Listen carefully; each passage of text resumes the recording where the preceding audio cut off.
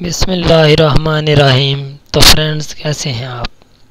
آج ہم آپ کے لیے ایک اور جابز کی ویڈیو لے گئے ہیں، جس میں ہم آپ کو بتا رہے ہیں پاکستان کوسٹ گارڈ کی جاب۔ جو پاکستان کوسٹ گارڈ ہے، اس میں جو جابز ہے، وہ ہے سپائی کی، سپائی کوک کی، این سیز کی، ٹھیک ہے یعنی کہ سینٹری ورکر کہتے ہیں اسے۔ ٹھیک ہے۔ اور سب سے پہلے جی بات کر لیتے ہیں سپائی یعنی کہ جرنل ڈیوٹی جو ہے، اس کا جو سکیل ہے وہ ہے فائیو ٹھیک ہے۔ اور تعلیمی قابلیت جو ہے، اس میں میٹرک چاہیے۔ اور کیفیت کیا ہے، جسمانی طور پہ بندہ فٹ ہونے، ہونا چاہیے۔ اسامیوں کی تعداد سیونٹی فائیو ہے۔ اور جو میرٹ ہے وہ سکس ہے اور پنجاب کی تھرٹی سیون میرٹ ہے اور سندھ کا سکس ہے، سندھ سندھ یو کا سکس ہے، سندھ آر کا زیرو ایٹ ہے۔ کے پی کے کا نائن ہے، بلوچستان کا فور ہے، فاٹا اور گلگت بلدستان کا تھری ہے اور آزاد کشمیر کا ٹو ہے۔ اور جو صفائی کوک ہے، اس کا جو پے اسکیل ہے، وہ بھی فائیو ہے اور تعلیمی قابلیت ہے جو، اور جو صفائی کوک ہے، اس کے لیے بھی جسمانی طور پر فٹ ہو اور کھانا پکانے میں مہارت رکھتا ہو اور اس کی جو سیٹس ہیں، وہ دو ہیں اور یہ اس میں کوٹا کوٹا وغیرہ نہیں ہے، یہ میرٹ ہے۔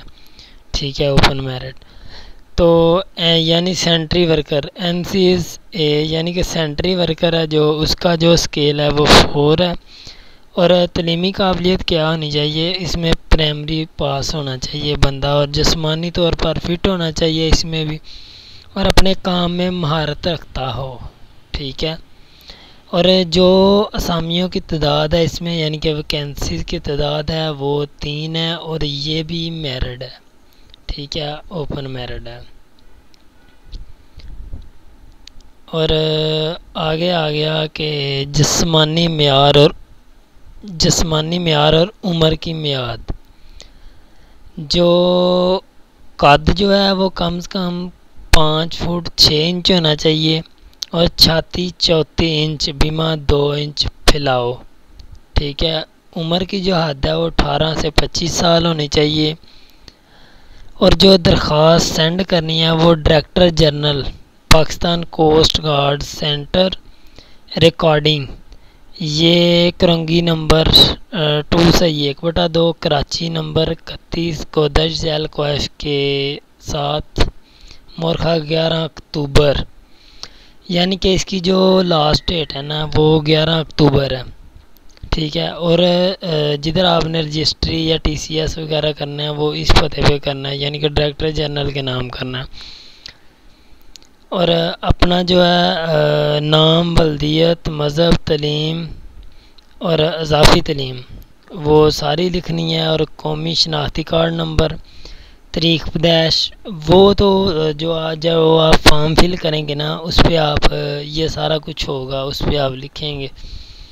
اور ڈومیسیل اور صبح ڈاک کا مکمل پتہ، کیونکہ وہ اب تو نہیں ویسے رول نمبر سلپ آتی ویسے تو شاید کہ کچھ اداروں کی آتی بھی ہو، اور ازدواجی حیثیت، رابطہ نمبر اور تجربہ لکھنا ہے۔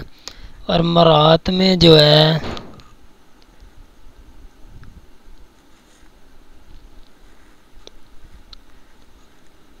ٹھیک ہے۔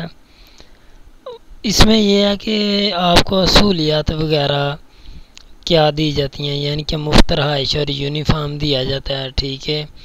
انشورنس دی جاتی ہے، شادی کے بعد بیوی اور بچوں کا مفت علاج کیا جاتا ہے۔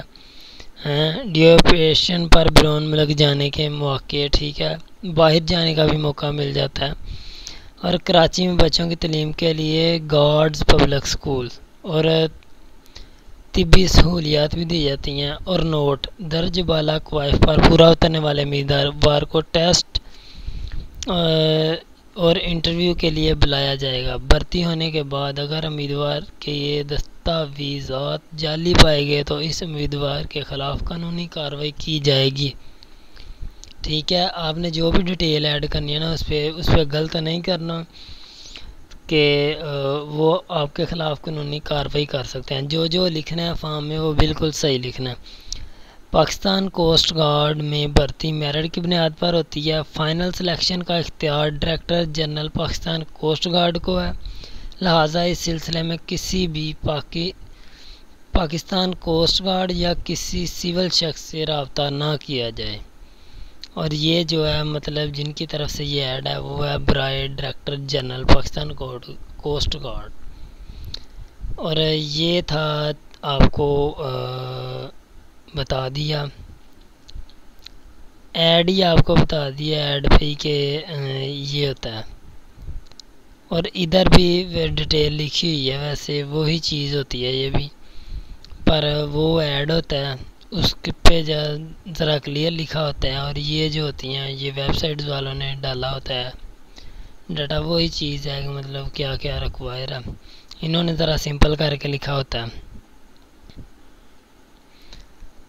ٹھیک ہے، تو جاتے ہوئے، تو بیل آئکن کے بٹن کو ضرور دبائیں تاکہ ہمارے جو نوٹیفیکیشن ہے نئی ویڈیو کی، وہ آپ تک ایزیلی پہنچ سکیں۔ اور ہمارے چینل کو سبسکرائب نہ کرنا بھولیے گا، کیونکہ سب سبسکرائب کریں گے تو آپ کو ہماری طرف سے میل آئے گی یعنی کہ آپ اپنی میل سے بھی ہماری ویڈیو کو دیکھ سکتے ہیں یعنی کہ وہ بھی آپ کو نوٹیفیکیشن کی طرح ہی، نوٹیفیکیشن ہی ہوتا ہے وہ بھی۔